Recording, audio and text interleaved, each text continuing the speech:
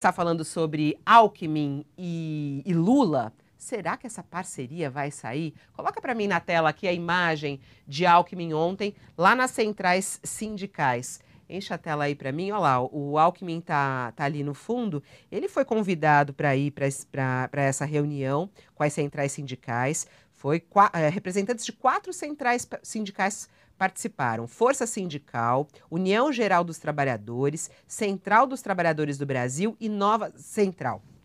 Nessa reunião, a Alckmin disse que se preparou para concorrer ao governo de São Paulo e que estaria em primeiro lugar nas pesquisas. Porém, afirmou que, abre aspas, surgiu a hipótese federal que está aberto ao diálogo.